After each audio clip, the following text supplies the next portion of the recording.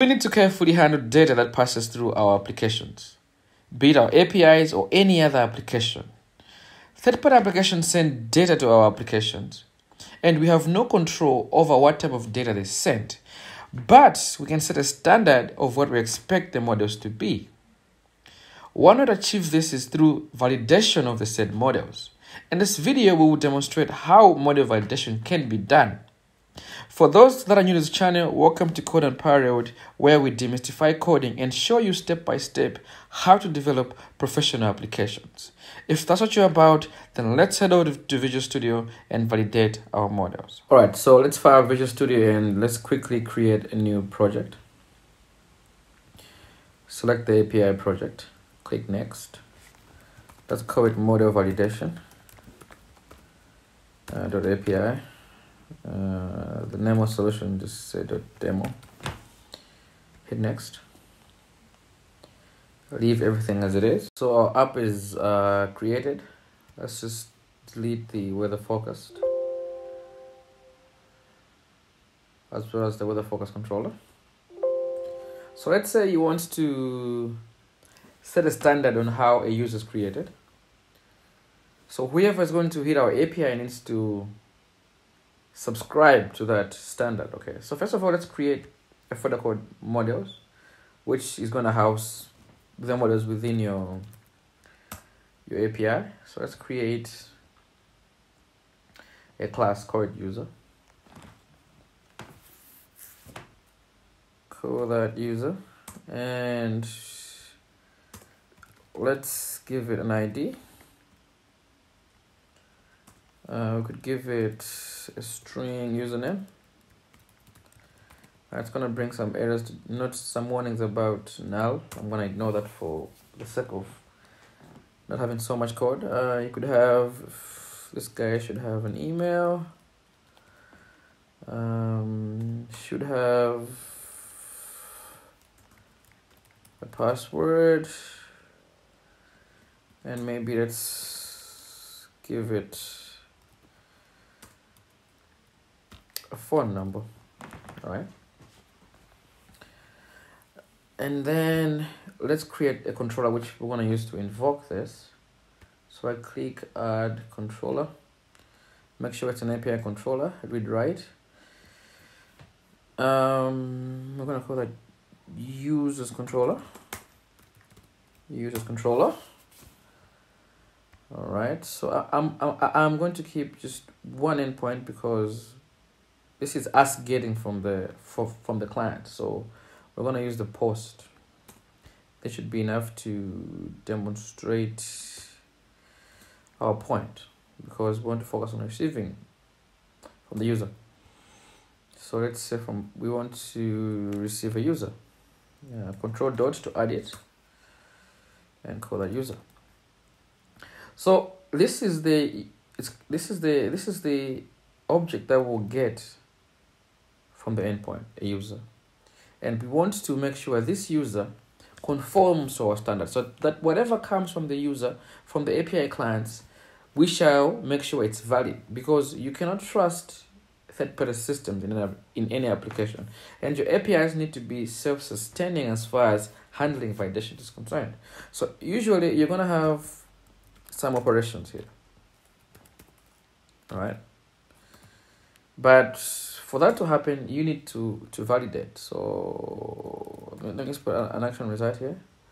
So for sake of showing, we, we, we're going to return the same user. And we're going to say return and okay, say user. So we're saying, whatever I get here, give it back to me, right? Now I'm going to control F5, press control F5 so that we see what happens without validation, how these things are handled, and then we're going to see how we can bring in validation to counter that. All right, so swagger loads. Now let's try it out. So I'm gonna send the zero, the string, everything as as it comes there. If I send, I expect it to give me back whatever I created, right? And it sends me back everything, and it's fine.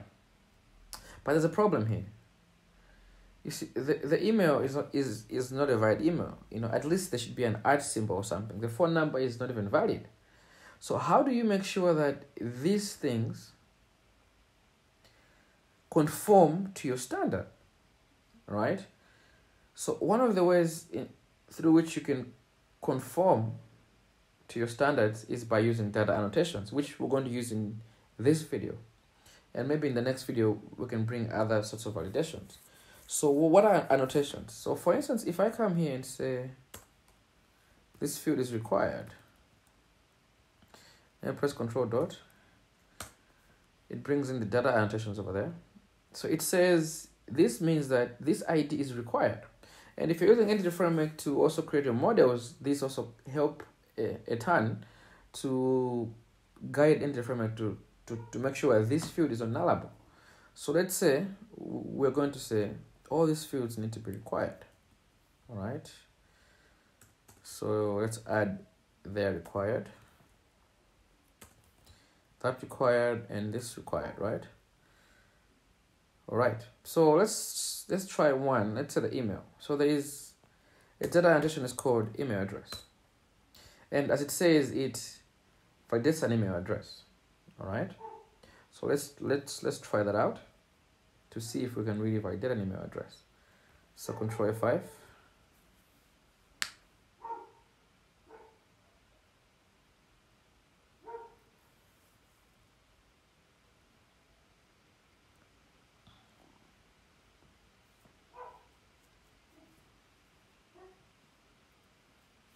Okay, now it's now you see that um, now instead of putting that, let's put string again. If I put string and executing it, it will tell you clearly that the field called email is not a valid email address. So now we are safe. If somebody sends something that doesn't conform to how an email address is is, is structured, our API is going to deny.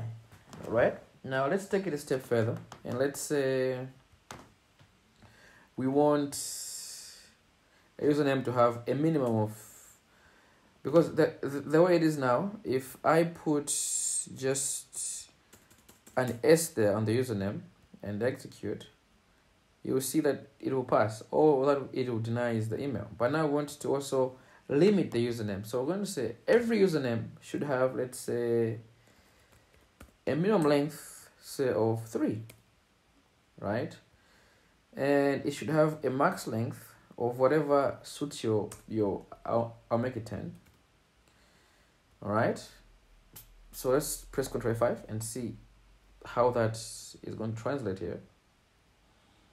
And this is going to reload. So we've seen the email validation. We'll leave it at that. So if I do this uh, and the username let me just put one character over there. Put put one character let's put one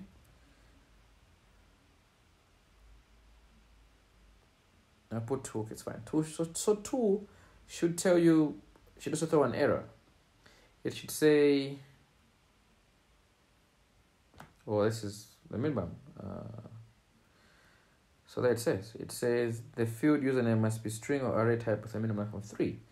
And if I add more to make it more than 10, it should also yield you to say has must be so it tells you. So we are protecting our API if if you may. Now what else might you want to bring in? Uh, we we've brought in max length, min length. There's actually a lot. There there is um there's, a lot you can do. But uh some people might want to have more control over how one thing is structured. So we could use what we call regular expressions. Now, if you love regular expressions, I do love them too, but they could be messy. So there's this website that I usually use. It's called ihateregex.io. So it gives you whatever you want to do. So let's say, uh, let's choose phone number. So this is the pattern it expects. So the plus and whatnot and this is the the regex or the regular expression so regex is just uh, the short form. So it shows you the start, the out, and how, however it's formed. That could be a topic on its own. But so this this this right here, if I copy it, it should be enough to validate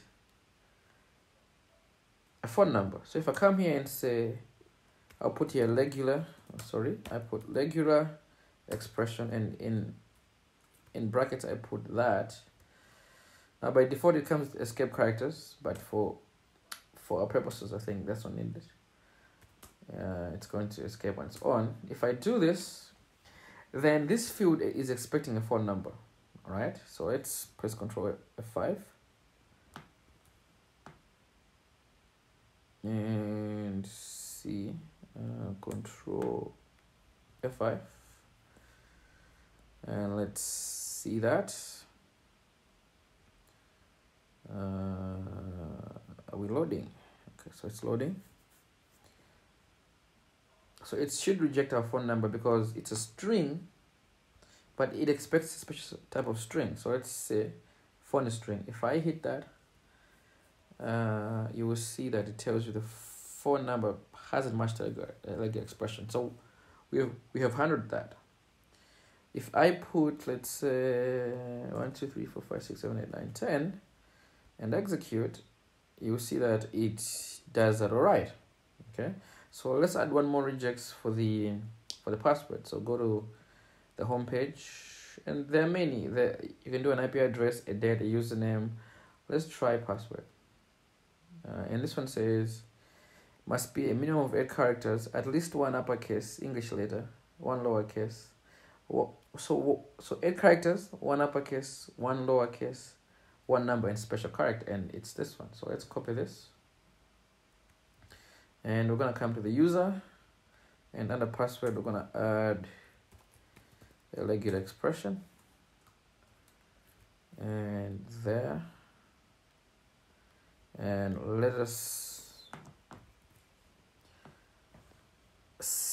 see how far that will take us so if I'm to okay it's loading post try it out. Uh, since we've changed the phone number, I'm gonna have to put a real phone number, so we just focus on the. So if I just put string there, it should say no. So it will tell you the fit password doesn't match. So it wants at least eight characters. So we want eight characters. One small one there should be there should be a number and a special character as per asterisk and execute and you see that that comes. So there you have it, uh, with just a few lines of code, uh, a bit of data annotations and regex for precision, you have yourself a data validation model. So if this was valuable, may you please uh, comment, subscribe, and share. And uh, look forward to seeing you next as I release the next video in, a, in the next few days. Thank you very much and have a lovely night.